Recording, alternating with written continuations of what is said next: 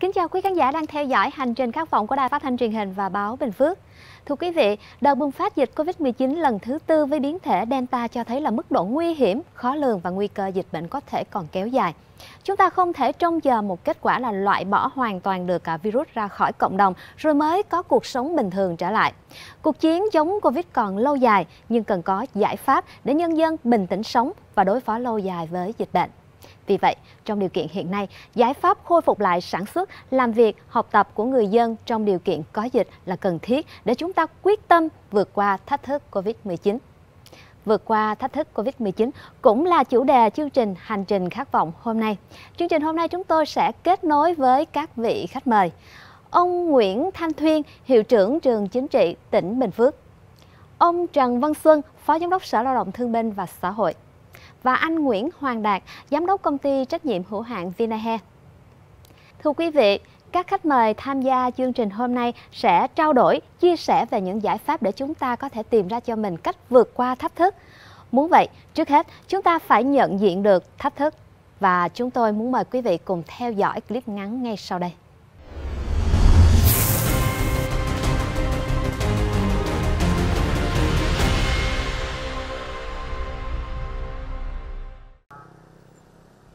Chỉ hơn 3 tháng sau ngày Bình Phước ghi nhận ca dương tính đầu tiên ngày 30 tháng 6, đến nay số ca dương tính trong tỉnh đã tăng lên hơn 1.000 trường hợp. Dịch Covid-19 đã khiến không chỉ đời sống của người dân bị xáo trộn, mà hoạt động sản xuất, kinh doanh của doanh nghiệp cũng bị ảnh hưởng nặng nề khi phải thực hiện cách ly, giãn cách toàn xã hội kéo dài, đặc biệt là trong thực hiện giải pháp ba tại chỗ.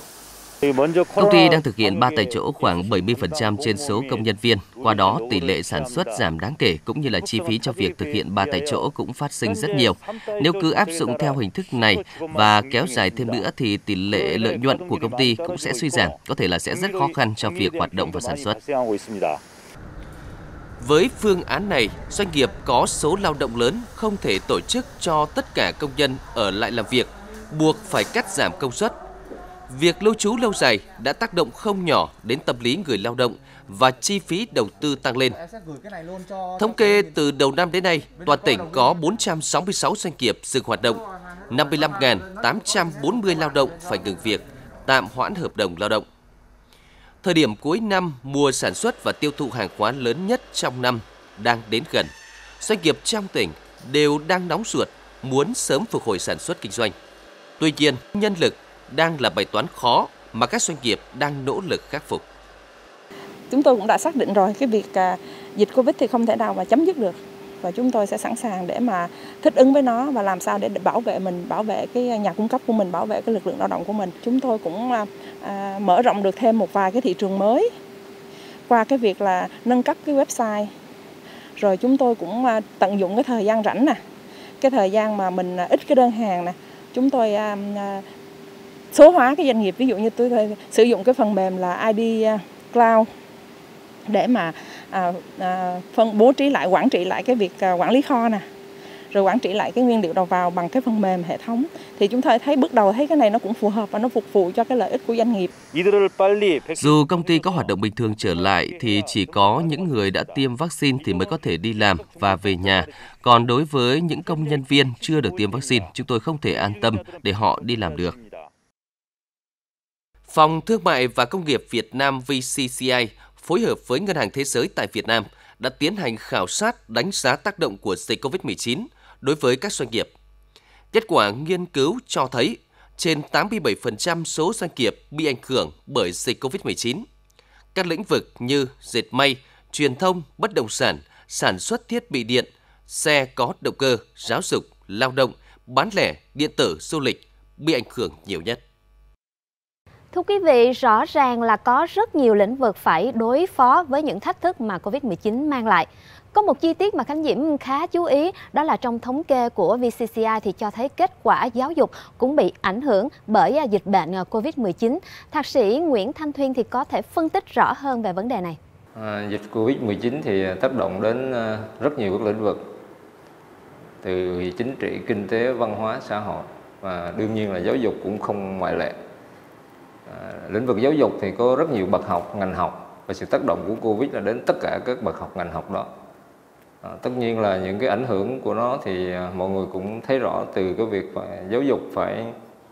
tìm cách thích ứng với lại sự tác động của Covid từ phương thức học tập, cách thức để chuyển tải nội dung của các bậc học, nhất là đối với các cái bậc học tiểu học rồi các cái lớp mà đang ở cái giai đoạn chuyển cấp đối với cái ờ, lĩnh vực mà đào tạo bồi dưỡng, đối với cán bộ, công chức, viên chức của tỉnh thì cũng đang phải chịu sự tác động của Covid-19 thì việc không thể học tập trung, phải chuyển sang hình thức học khác, tức là học trực tuyến. Các hình thức đánh giá, kiểm tra, tài liệu, vân vân, đều phải được thay đổi cho phù hợp với cái điều kiện giãn cách và phòng chống dịch bệnh. Ờ, tất nhiên những cái ờ, yếu tố đó mà thay đổi đấy, nó sẽ ảnh hưởng đến chất lượng của quá trình đào tạo bồi dưỡng ảnh hưởng đến cái khả năng tiếp thu ảnh hưởng đến cái khả năng mà tích lũy kiến thức cũng như những cái kỹ năng khác trong quá trình rèn luyện dưới góc nhìn của mình thì Phó Giám đốc Sở Lao động Thương binh và Xã hội nhận định như thế nào về những thách thức mà người lao động phải đối mặt trong giai đoạn sắp tới khi mà chúng ta chấp nhận sống chung với Covid-19? Trước mắt hiện nay thì à, theo chỉ đạo của tỉnh Ờ, cũng như là của trung ương thì ờ, chúng ta đã có một số các giải pháp để thích ứng từng bước với là cái tình hình dịch bệnh này. Đó rằng là tổ chức ờ, ba tại chỗ ăn tại chỗ, ở tại chỗ và làm việc tại chỗ ở một số cái doanh nghiệp có điều kiện, một số cái công ty có điều kiện do đó rằng là cái điều này cũng làm ảnh hưởng rất lớn đến cái điều kiện sống và làm việc của người lao động mà hiện nay trên cái địa bàn tỉnh chúng ta thì cái số lao động mà làm việc à, à, bằng lao động bằng phổ thông đấy ở trong các doanh nghiệp thì chiếm đa số à, với cái lực lượng rất lớn. Và với cái điều kiện như vậy thì là cũng làm cho cái à, đi, à, các cái doanh nghiệp cũng có khả năng là cắt giảm cái lao động cắt giảm lao động để thích ứng với là cái điều kiện về cái sản xuất của họ. Do đơn đơn hàng bị cắt giảm rồi vân vân vân thì có khả năng một số doanh nghiệp sẽ là cắt giảm cái lực lượng lao động. Về lâu về dài ấy, thì Ờ, do dịch bệnh này ờ, có thể là nó kéo dài và bắt buộc chúng ta phải thích nghi với cái điều kiện um, vừa là phòng chống dịch bệnh nhưng mà vừa là để đảm bảo là sản xuất kinh doanh. Thì do đó rằng là ờ, về lâu về dài người lao động và người sử dụng lao động phải có cái sự tương tác với nhau. À, người, người sử, sử dụng lao động thì họ thay đổi cách thức vận hành quản lý điều hành của họ để thích ứng với tình hình à, dịch bệnh. Và kéo theo đó thì người lao động cũng phải thay đổi trình độ nghề nghiệp rồi là cái khả năng về à, điều kiện lao, à, lao động. Thưa quý vị, hàng năm chúng ta đều có chương trình đào tạo nghề cho người lao động. Người lao động thì cũng có nhu cầu đào tạo lại để có thể thích ứng và chuyển đổi nghề nghiệp trong bối cảnh thế giới việc làm đang thay đổi. Như vậy thì khả năng sẽ có sự thay đổi trong cơ cấu đào tạo, cách thức. Và để thích ứng với giai đoạn mới thì đó có phải là áp lực của ngành lao động thương binh và xã hội hay không thưa ông? Ở đây là một cái vấn đề mà không phải chỉ là dịch bệnh thì chúng ta mới à, thay đổi mà trên thực tế cái xu thế phát triển chung của xã hội và của cái à, lĩnh vực à, lao động sản xuất nói à, nói nói nói chung thì tất cả các doanh nghiệp và người lao động luôn luôn phải nằm trong cái trạng thái là phải thay đổi mình để thích ứng với điều kiện làm việc mới tôi nói là không chỉ trong cái điều kiện dịch bệnh hiện nay mà trước cái à, xu thế là cuộc cách mạng công nghiệp ờ, công nghệ 4.0 thì chúng ta cũng đã phải là từ à, thay đổi để thích ứng với điều kiện à, mới. Và chắc chắn đây là một cái áp lực ừ, rất lớn đặt ra đối với ngành lao động trong đặc biệt là đối với lĩnh vực là giáo dục nghề nghiệp. Đấy để hướng đến cái mục tiêu rằng là một mặt là vừa nâng cái số lượng lao động qua đào tạo nâng lên và đặc biệt là chất lượng của người lao động qua đào tạo để đáp ứng với cái yêu cầu thay đổi cái công nghệ của các doanh nghiệp trong tình hình hiện nay. Do đó rằng là có thể kể đến hai cái áp lực lớn. Ờ, thứ nhất đó là đối uh, yêu cầu đổi mới căn bản toàn diện nhằm đào tạo và chuyển đổi nghề nghiệp cho người lao động. Và đây là một vấn đề tôi cho rằng là ờ, đặt ra một cái điều kiện trong cái điều kiện chúng ta về cơ sở vật chất của các cái cơ sở giáo dục nghề nghiệp hiện nay mà với cái số lượng mà lớn như vậy cần phải chuyển đổi đào tạo lại thì phải nói là một áp lực rất lớn. À, cái điều kiện chúng ta ờ, chưa được sẵn sàng chưa được đầu tư chuẩn bị một cách ờ, bài bản thì do đó đây là một cái cái áp lực rất lớn đối với chúng ta. Cái thứ hai nữa là đào tạo nghề để đáp ứng yêu cầu lao động qua đào tạo của doanh nghiệp nhằm giúp doanh nghiệp khắc phục những khó khăn. Cái này thì à, từ trước đến nay thì cũng đã diễn ra rồi. À, như tôi nói rằng là cái cuộc công nghề 4.0 này nó đã ra đời thì bắt buộc cái xu thế là các doanh nghiệp nó phải thay đổi để thích nghi với cái điều kiện này. Thì kéo theo đó là người lao động cũng phải đào tạo lại, từ đào tạo và đào tạo lại, kể cả doanh nghiệp và kể cả cơ quan nhà nước, đó là ngành lao động thương minh xã hội cũng phải tính đến phương án để đào tạo lại một cách bài bản giúp cho các doanh nghiệp đáp ứng nhu cầu nguồn lao động của các doanh nghiệp à, trong cái thời gian sắp tới. Do đó để giải quyết hai cái áp lực này thì à, Ờ, tỉnh cũng đã chuẩn bị một số cái phương án để tập trung. Vừa là trước mắt để ứng phó với tình hình dịch bệnh hiện nay nhưng mà vừa lâu dài để đáp ứng cái yêu cầu phát triển ờ, của, của tỉnh. Thì thứ nhất là nó rà soát lại cái năng lực hiện có của các cơ sở đào tạo trên địa bàn tỉnh. Hiện nay thì ờ, chúng ta cũng đã sắp xếp lại một số cái cơ sở đào tạo mà trước đây dồn lại và thay đổi cách thức rồi là tập trung các nguồn lực để giúp các cơ sở này có đáp ứng được cái, cái năng lực đào tạo uh, chất lượng cao giúp cho các doanh nghiệp có được cái nguồn uh, lao động có chất lượng để đảm bảo sản xuất Thưa quý vị, mỗi một doanh nghiệp, ngành nghề, lĩnh vực đều có những khó khăn, thách thức riêng. Nhưng không vì vậy mà chúng ta không vượt qua để có thể chung sống an toàn. Bởi chúng ta nhận thức rằng virus SARS-CoV-2 không hoàn toàn biến mất mà buộc chúng ta phải thay đổi để thích ứng với điều kiện mới.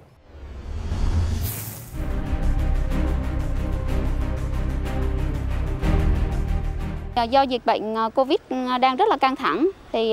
ờ, trường của chúng tôi có vận dụng dạy Zoom online cho học sinh. Dạy online như vậy thì mình sẽ cũng tiếp cận được với học sinh rồi mình cũng có thể là sử dụng các cái ứng dụng của công nghệ thông tin để mình giảng dạy.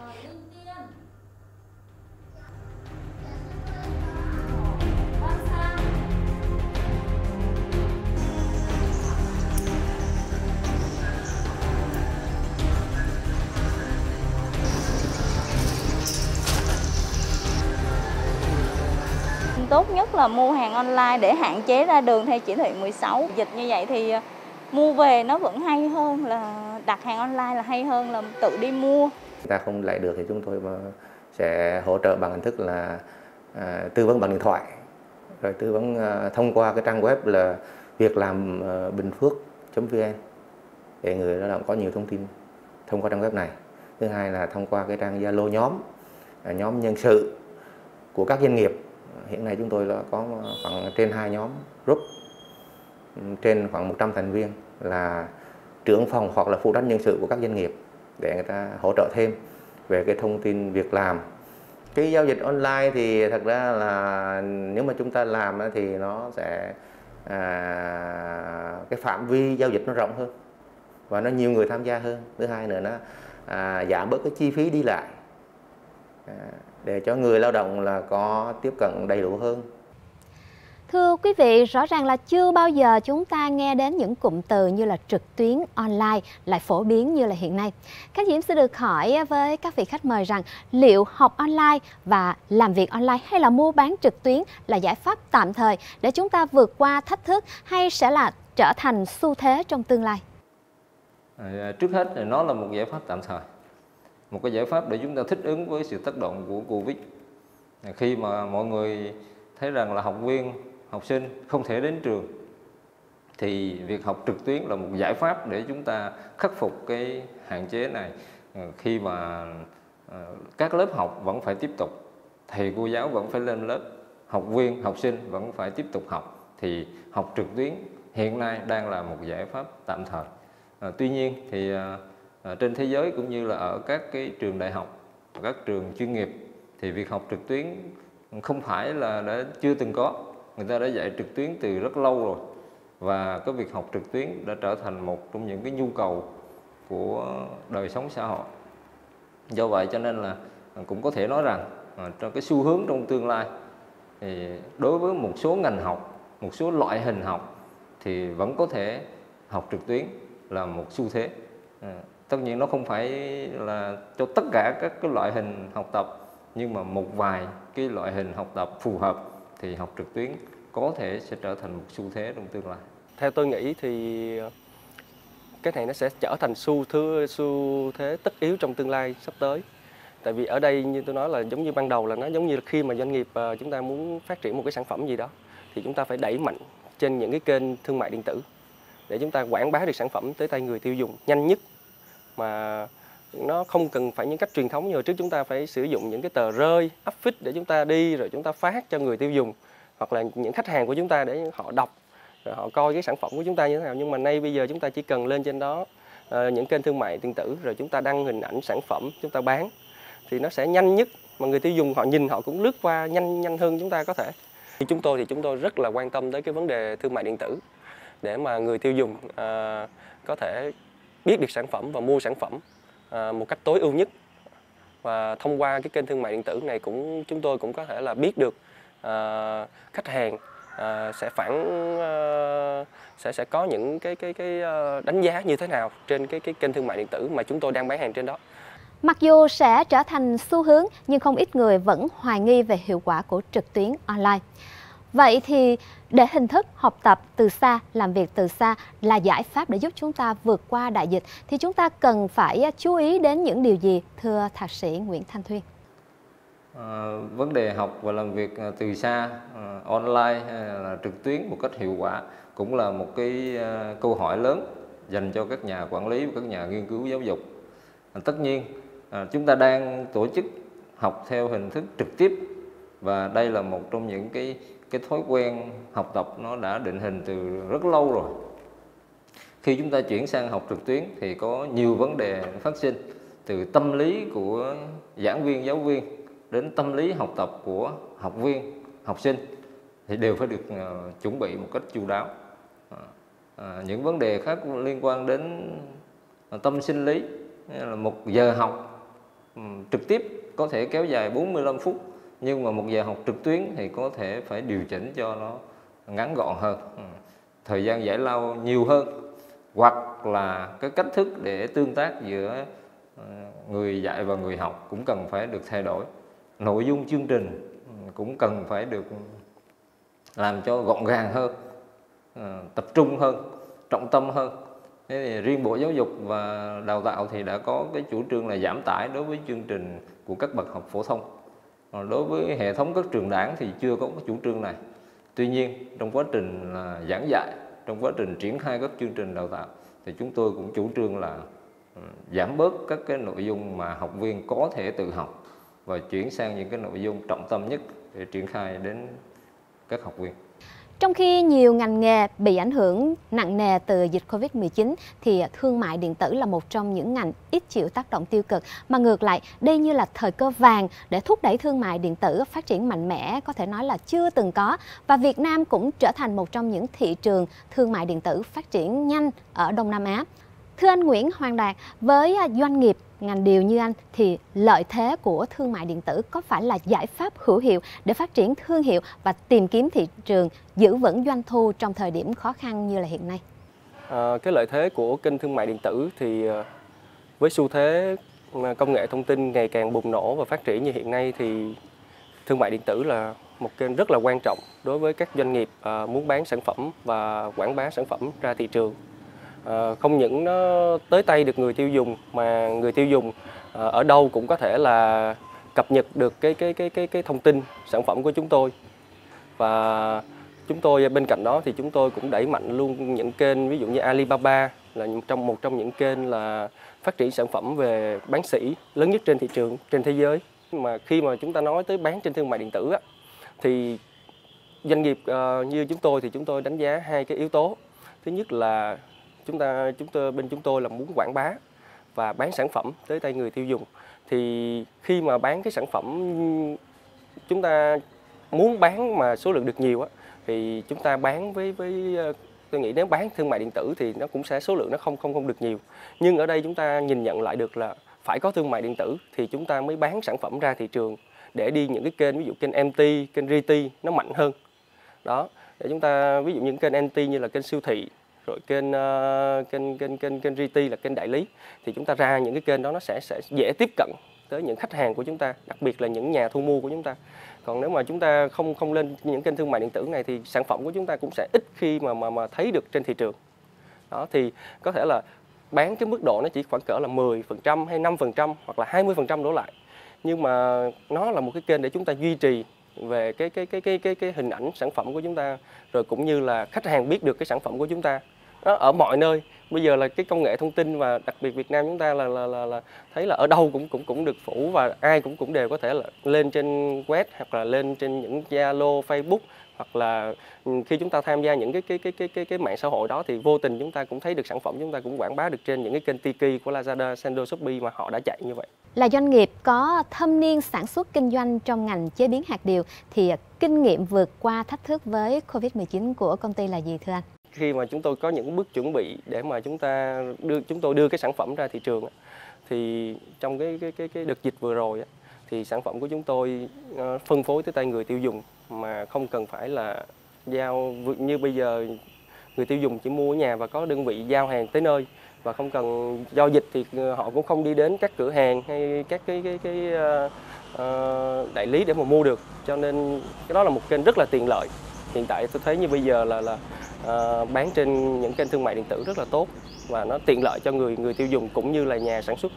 khi đưa sản phẩm tới tay người tiêu dùng. Đợt Covid vừa rồi thì công ty chúng tôi cũng Ờ, đã có những cái bài học kinh nghiệm mà ờ, để chúng tôi giúp cho chúng tôi được duy trì và phát triển sản xuất Thưa quý vị, lợi thế của thương mại điện tử đó là tốc độ nhanh, phạm vi toàn cầu và có thể kết nối trực tiếp từ người bán cho đến người tiêu dùng với chi phí thấp hơn nhiều so với giao dịch truyền thống. Chắc chắn đây sẽ là kênh mua bán thay thế phương thức mua bán truyền thống trong tương lai. Vậy thì à, theo anh Đạt, doanh nghiệp trong tỉnh thì cần phải chuẩn bị những gì để chúng ta có thể khai thác thị trường đầy tiềm năng này? Theo chúng tôi đánh giá thì cái kênh thương mại điện tử nó là cái gọi là cái xu thế tất yếu rồi. À, bây giờ càng ngày thì càng công nghiệp à, hóa, hiện đại hóa thì người tiêu dùng cũng như là khách hàng sẽ uh, chú trọng về việc sử dụng các cái uh, điện thoại cá nhân cũng như là internet. Thì khi mà ở đây thì chúng tôi uh, uh, nó sẽ có cái sự uh, khi mà doanh nghiệp muốn phát triển cái sản phẩm ra thị trường thì phải cần có những kênh này để hỗ trợ uh, quảng bá cũng giúp cho người tiêu dùng biết được cái sản phẩm của chúng ta uh, là sản phẩm gì uh, nó có điểm khác biệt gì và giá cả như thế nào để người tiêu dùng lựa chọn nhanh nhất mà chúng ta không phải đầu tư những cái kênh chúng ta như ví dụ như làm để mà kênh sale bán hàng để mà giới thiệu sản phẩm. Nhưng ở đây cái kênh mà thương mại điện tử nó cũng là một cái để cho chúng ta khi mà chúng ta ra được cái à, bán được trên cái kênh đó rồi thì sale đi bán hàng nó cũng sẽ hỗ trợ cho người tiêu dùng biết được và mở cho người tiêu dùng xem để mà giới thiệu dễ hơn. Đó thì cái cái bước mà mà mà marketing và bán hàng trên kênh thương mại điện tử này thì cũng rất là quan trọng là một trong những cái cái tiền đề để mà doanh nghiệp Ờ, khi đưa sản phẩm ra thị trường. Khi mà bối cảnh covid diễn ra thì chúng tôi lại à, cũng các sở ngành cũng đã tổ chức cho những cái buổi à, à, hội thảo cũng như là giao lưu trực tuyến với các đối tác nước ngoài. À, tham gia trực tuyến này á thì cũng rất là hay. Chúng tôi gặp được đối tác trực tiếp và đã được à, thông qua cái cái à, sự kết nối của của à, à, các sở ngành. Cũng như với sở ngành của nước ngoài thì hai bên sẽ gặp được cái đối tác trực tiếp hơn và tạo cái độ tin cậy hơn. Đó, thì trước mắt có thể là chúng tôi tôi chưa kết nối được nhiều nhưng mà từ đây thì cũng sẽ có những cái cái để mà nhìn nhận được cái khi họ phân tích được cái ờ, đặc thù nền kinh tế của của nước họ cũng như là chúng tôi đang ờ, cũng phân tích được với nhau rồi cùng nhau để mà kết nối để duy trì và sau này cũng hy vọng là bán được sản phẩm và xuất khẩu sản phẩm ra được nhiều nước hơn ờ, để mang lại ừ, về cái giá trị hơn cho cho uh, cái sản phẩm của chúng tôi cũng như là cái sản phẩm hạt điều của tỉnh Bình Phước. Trước sự phát triển mạnh mẽ của các nền tảng công nghệ thì việc đào tạo nguồn nhân lực chuyển đổi số trong thời đại cách mạng công nghệ 4.0 được xem như là giải pháp hàng đầu để vượt qua những tác động tiêu cực của Covid-19. Giải pháp này thì có phù hợp với tất cả hay không? Thưa Thạc sĩ Nguyễn Thanh Thuyên. Phát triển cái nhân lực mà để đáp ứng được cái yêu cầu chuyển đổi số thì đây đúng là một trong những yêu cầu đặc biệt rất quan trọng đối với sự phát triển của mỗi địa phương và ở cả, kể cả tầm quốc gia. Đối với Bình Phước thì các các cái ờ, cái cái nghị quyết của tỉnh ủy về chuyển đổi số thì đã được ban hành rồi cho thấy rằng lãnh đạo tỉnh rất quan tâm tới việc chuyển đổi số. Và một trong những cái yêu cầu của chuyển đổi số là à, cán bộ công chức sẽ phải điều hành sẽ phải quản lý xã hội trên một cái nền tảng dữ liệu số trên không gian số. Và chính vì như thế cho nên là ừ, những cái cái kỹ năng của cán bộ trong quá trình mà quản lý trong thời gian tới phải là những kỹ năng ừ, mang tính chuyển đổi số mạnh mẽ để có thể trực tiếp lãnh đạo, quản lý, điều hành dựa vào dữ liệu số trên cái không gian số ấy. Ngành giáo dục của Bình Phước ờ, nói chung và đối với các cái trường học thì cũng đang tích cực thực hiện cái việc chuyển đổi số. Ờ, cái trực quan nhất là các bạn đang thấy rằng là ờ, các trường học đang mạnh mẽ chuyển đổi cái hình thức học từ trực tiếp sang trực tuyến một cách phù hợp để đáp ứng cái yêu cầu phòng chống dịch bệnh và khai thác tất cả các cái ứng dụng để có thể dạy học một cách tốt nhất đến học sinh của mình. À, trường đảng của chúng chúng ta cũng như vậy chúng tôi cũng đã triển khai học trực tuyến từ tháng 4 năm sau cái cái đợt dịch à, Covid lần thứ tư và cho đến hiện nay thì cũng vẫn đang tiếp tục duy trì. Thưa quý vị, thời điểm này thì Bình Phước được Ban chỉ đạo quốc gia phòng chống Covid-19 xếp vào nhóm những tỉnh thành kiểm soát tốt dịch bệnh. Vì vậy thì để chuẩn bị cho lộ trình trở lại bình thường mới thì tỉnh ta đã có các phương án, trong đó phòng chống dịch là nhiệm vụ trọng tâm, đi đôi với khôi phục kinh tế, giải quyết việc làm và an sinh xã hội. Trong lĩnh vực lao động việc làm thì khả năng Bình Phước sẽ phải chịu những áp lực cạnh tranh trong thu hút lao động về làm việc. Thưa ông à, Trần Văn Xuân ạ, à, tỉnh ta đã có những chính sách để đẩy mạnh thu hút đào tạo lao động để hỗ trợ doanh nghiệp phục hồi, phát triển sản xuất trong điều kiện bình thường mới như thế nào? Không chỉ riêng Bình Phước mà đặc biệt trong cái đợt dịch à, thứ tư này bùng phát thì là hầu hết các tỉnh thành phía Nam, đặc biệt là cái khu kinh tế trọng điểm phía Nam, trong đó có Bình Phước đang gặp phải một cái thách thức rất lớn. Đó rằng là cái di chuyển lao động ừ, từ các cái khu kinh tế trọng điểm này về các cái tỉnh à, khác ở trong cả nước đây là một cái đợt mà di biến động lao động rất lớn, chắc chắn như vậy và nếu mà kết thúc đợt dịch này thì chắc chắn rằng là cái khu vực kinh tế trọng điểm phía Nam này gặp phải các doanh nghiệp trong khu vực này gặp phải cái khó khăn rất lớn, đó là thiếu hụt cái lực lượng lao động Ờ, đứng trước cái yêu cầu đó thì tỉnh đã có cái chủ trương ờ, để là làm sao đó vừa là ờ, đáp ứng được cái tình hình sản xuất kinh doanh hiện tại, để là không làm đứt gãy các cái chuỗi sản xuất kinh doanh mà đồng thời có những chính sách hỗ trợ, ưu tiên giúp đỡ cho doanh nghiệp và người lao động để tháo gỡ những khó khăn vướng mắc đó. Và cái mục đích cuối cùng đó là giữ chân người lao động ở lại với địa phương để đáp ứng được cái yêu cầu phát triển sản xuất kinh doanh ở ngay tại địa phương chúng ta. Sở Lao động Thương binh Xã hội cũng đã tham mưu ủy ban tỉnh ban hành kế hoạch số à, 293 ngày 9 tháng 9 năm 21 à, trong đó để là thu hút phát triển nguồn lao động phục vụ sau cái giãn cách à, sau khi mà cái cái đợt dịch này nó nó tạm dừng hoặc là nó có cái sự kiểm soát có các giải pháp hỗ trợ khó khăn cho doanh nghiệp, cho người lao động vân vân để họ yên tâm ở lại với địa phương chúng ta để ờ, đáp ứng cái yêu cầu phát triển cái thứ hai nữa rằng là song song với cái chính sách đấy thì chúng tôi cũng đã triển khai kịp thời có hiệu quả các cái chính sách à, hỗ trợ cho người dân đấy, và tạo điều kiện tốt nhất à, để cho các cái lực lượng công nhân ở các tỉnh thành khác mà hiện nay đang à, làm việc ở Bình Phước có thêm cái điều kiện để ổn định cuộc sống. Rõ ràng là cuộc chiến chống Covid-19 dự báo còn có thể kéo dài, cũng như chúng ta chưa thể lường hết những khó khăn, thách thức mà Covid-19 mang lại. Thế nhưng, ngay từ bây giờ chúng ta phải chuẩn bị sẵn sàng tâm thế, chuẩn bị các phương án ứng phó phù hợp Câu hỏi đặt ra lúc này là mỗi cơ quan, doanh nghiệp và mỗi người lao động cần chuẩn bị những gì để chúng ta có thể chuyển nguy thành cơ và biến khó khăn thành động lực vượt qua thách thức Covid-19. Trước cái, cái, cái ảnh hưởng của dịch bệnh như vậy thì từ doanh nghiệp cho đến các cơ quan nhà nước cho đến các trường học thì cái cái nguy cơ này Ờ, đối với cái cái, cái giai đoạn hiện nay thì mọi người đều phải tìm cách biến nó trở thành một cái cơ hội để chuyển đổi số. Chuyển đổi số thì không hề dễ dàng. Thế nhưng mà vì là cái điều kiện như vậy chúng ta phải thích ứng. Thì ngay ngay lúc này đây cái việc mà chúng ta chuyển đổi số là một trong những cái cách làm mà chúng ta vừa chúng phòng chống được dịch bệnh hiệu quả mà vừa thực hiện được nhiệm vụ của mình thì trong quá trình đó những vấn đề liên quan đến uh, kỹ thuật những vấn đề liên quan đến công nghệ những vấn đề liên quan đến các trang thiết bị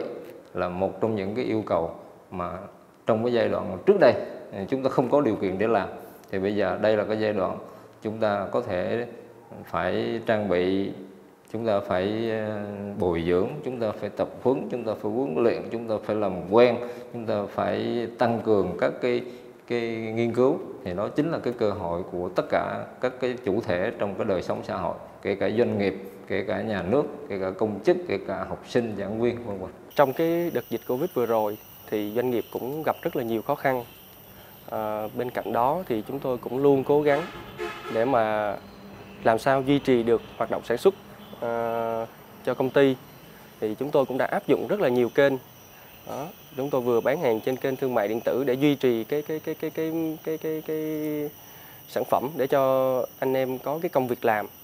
Rồi à, bên cạnh đó thì chúng tôi cũng cũng đẩy mạnh thêm à, để mà quảng bá thêm. Tại vì bây giờ dịch thì cũng không đi lại được nhiều. Thì chúng tôi cũng cũng tập trung cho cái kênh thương mại điện tử và tập trung bán hàng trên những cái kênh công nghệ thông tin. Ví dụ như là những kênh mua sắm của TV, à, của truyền hình. Rồi à, uh, chúng tôi cũng đang xúc, uh, có những hoạt động xúc tiến để mà uh, họp với nhau qua những cái cái zoom qua những cái cái công nghệ thông tin đó để mà trao đổi với khách hàng nó dễ hơn. Hồi trước thì ví dụ như chúng tôi muốn gặp một khách hàng đó thì chúng tôi phải đi ví dụ như là chạy về thành phố Hồ Chí Minh nó cũng mất thời gian rất là nhiều. Như Bình Phước chúng ta đi thì về mất hết cỡ ba bốn tiếng rồi rồi vô ngồi họp bàn với nhau cũng rất là lâu nhưng mà hiện tại nay thì cũng nhờ cái cái cái, cái thương mại điện tử thì khách hàng họ muốn mua sản phẩm đó hoặc là số lượng nhiều hơn thì chúng tôi có thể họp nhau qua qua qua qua phòng họp Zoom rồi chúng tôi trao đổi nói chuyện với nhau nó cũng rất là là đỡ được cái cái cái cái vấn đề đi lại cũng uh, thông qua kênh thương mại điện tử thì chúng tôi cũng muốn là để mà quảng bá và phát triển cái hình ảnh sản phẩm của hạt điều Bình Phước nhiều hơn nữa. À, trong cái điều kiện dịch bệnh này thì chúng ta phải đẩy mạnh xem đây là cái nguy mà biến nguy này thành cái cơ để chúng ta chuyển đổi đến là cái uh, cái cái chính phủ số uh, và sản xuất số công nghệ số vân vân để giúp cho các doanh nghiệp uh, vừa thích nghi với cái điều kiện là phát triển sản xuất uh, với cái công nghệ tiên tiến hơn nhưng đồng thời cũng đáp ứng được là cái là phòng chống dịch bệnh trong cái giai đoạn hiện nay do đó là cái việc mà học online làm việc online buôn bán online vân vân. Tất cả những cái đấy thì cái mà uh, tỉnh đang đang cố gắng phấn đấu. Và không chỉ chúng ta mà ngay thủ tướng chính phủ cũng nói đây là cơ hội để chúng chúng ta đẩy nhanh cái tiến trình chuyển đổi số mà chúng ta đã làm từ trước chứ không phải là là trong cái thời gian dịch bệnh thì chúng ta mới làm cái này mà chúng ta đã làm từ trước. Và bây giờ là cơ hội này để chúng ta đổi chuyển đổi nhanh hơn. Chúng ta phải có lộ trình à, từng bước để khắc phục để đào tạo lại và từ người lao động từ các doanh nghiệp cũng phải chuẩn bị một cái tư thế cho mình để là thích ứng với cái điều kiện là chuyển đổi số này và thích ứng với cái điều kiện trong cái điều kiện là dịch bệnh đang bùng phát đang khó khăn. À, chúng ta cũng chưa có xác định được là cái covid ờ, này nó dừng bao giờ nó dừng. Đấy, do đó rằng là cái tâm thế và cái mọi doanh nghiệp mọi người lao động đều phải chuẩn bị cho mình một cái tâm thế là sẵn sàng à, chuyển đổi để thích nghi với cái điều kiện mới này. Thưa quý vị, đợt bùng phát dịch COVID-19 lần thứ tư với biến thể Delta cho thấy mức độ nguy hiểm, khó lường và nguy cơ dịch bệnh còn có thể kéo dài. Giải pháp chủ động chung sống an toàn với đại dịch đã được nhiều quốc gia đặt ra. Chính phủ cũng đã có đưa ra nhiều quan điểm đó là sống chung với dịch, xong sống chung là một cách an toàn, chứ không phải là nhanh chóng chuyển đổi trạng thái từ đóng sang mở một cách cực đoan và thiếu sự chuẩn bị kỹ càng. Đặc biệt là chưa thể mở toan khi mà độ phủ của vaccine chưa đủ. Dù đứng trước vô vàng khó khăn do dịch bệnh gây ra, thì Bình Phước vẫn đang nỗ lực để hoàn thành tốt các nhiệm vụ, chỉ tiêu của năm 2021. Cả hệ thống chính trị và nhân dân trong tỉnh đang cùng chung ý chí, quyết tâm vượt qua thách thức Covid-19 để trở thành điểm sáng điển hình trong công tác phòng chống dịch Covid-19 của cả nước. Hành trình khát vọng với chủ đề vượt qua thách thức Covid-19 sẽ được khép lại tại đây. Cảm ơn các vị khách mời đã tham gia cùng với chương trình. Cảm ơn quý khán giả đã quan tâm theo dõi. Xin kính chào và hẹn gặp lại.